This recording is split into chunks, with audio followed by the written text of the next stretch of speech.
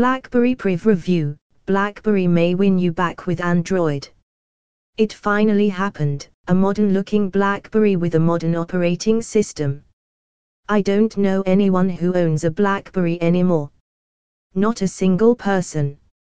Had BlackBerry's new Priv been released five years ago, things could be different. I'd own one. You'd own one. Obviously, bankers, lawyers, and salespeople would have them. Maybe even the guy who sold me tomato soup for lunch.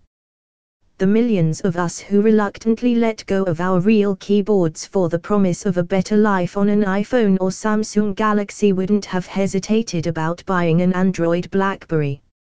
Unlike BlackBerry's own operating system, it would have given us access to all the latest and greatest apps, plus Google's indispensable services. Instead, BlackBerry's story now reads like a Shakespearean tragedy. The once dominant smartphone maker doesn't even hold 1% of the worldwide market now, according to IDC. But maybe, just maybe, it isn't too late for BlackBerry. The Priv, which starts shipping on Friday and is available at AT&T and BlackBerry.com, isn't yet another poorly timed misstep.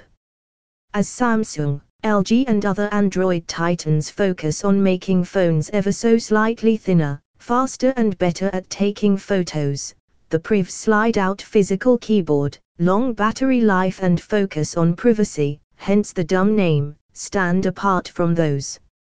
It even challenges Apple's ruling iPhone. A few performance issues aside, the Priv is the first BlackBerry in years that I have loved using, and that I can recommend. Key S to come back. The best thing about the Priv may be that it doesn't look like a traditional BlackBerry, nor a deformed one, either. Sorry, BlackBerry Passport fans. Instead it blends the curves of Samsung's Galaxy S6 Edge with the glossy black bordering of the iPhone 6 to make a wholly unique device that's a pleasure to hold and look at. Let's be real, though. If you're eyeing this phone, you're after its secret weapon, a 4.0 physical keyboard that slides out firmly from under the screen, trundle bed style typing on real keys with a phablet-sized 5.4-inch screen towering over them is odd at first, but once I found my acrobatic balance, my fingers were scurrying around at up to 60 words per minute. That's about 20% faster than I type on my iPhone, though still 15% slower than on the BlackBerry Classic's larger, wider, backlit keyboard. The sculpted plastic keys were great when I had to write a lengthy email and make edits to a story. The keyboard also doubles as a touch-sensitive trackpad, allowing you to move the cursor. But even I, a former physical keyboard addict, ended up using the on-screen keyboard most of the time.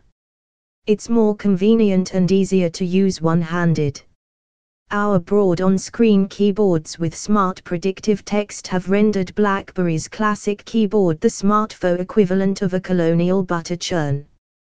The keyboard may seem like a historical artifact, but the rest of the phone is modern.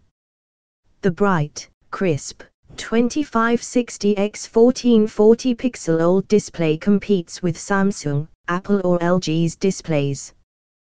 The 18 megapixel camera takes good shots, though not as good as the Nexus 6Ps in low light. And in my testing, the big battery inside outran the new Nexus phones and my iPhone 6s. I had about 10% left most nights before bed.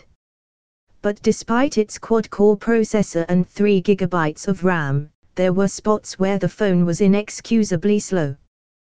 There's a 1 second camera delay between the shutter button press and the photo being taken. Taps on the screen don't always register, some apps would slow down or even stop responding. I experienced these issues on two Priv units I tested. Updates to apps and the operating system improved some of the performance glitches and bugs but more are needed. BlackBerry says it is planning another software and OS update for later this month.